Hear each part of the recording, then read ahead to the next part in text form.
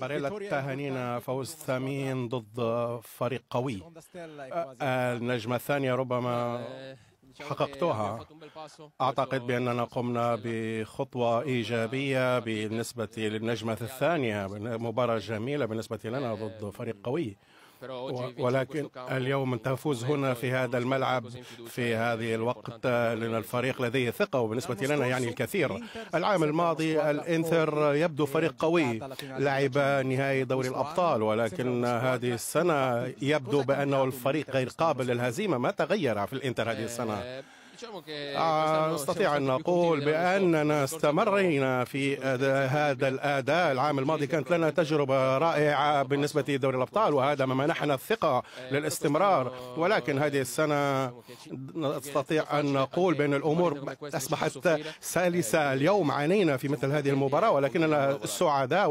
ونستمر في العمل. بعد أربعة أيام تحدي آخر ضد أتلتيكو مدريد. كيف هي المباراة؟ أتلتيكو فريق قوي. شاهدناهم في الذهاب. ستكون مباراة صعبة مباراة دوري الأبطال كما هو الحال دوري كل مباريات دوري الأبطال. ولكن من الجميل أن تلعب مثل هذه المباريات. نريد أن نستمتع بهذه المباراة ونمتع الجماهير. شكرا جزيلا.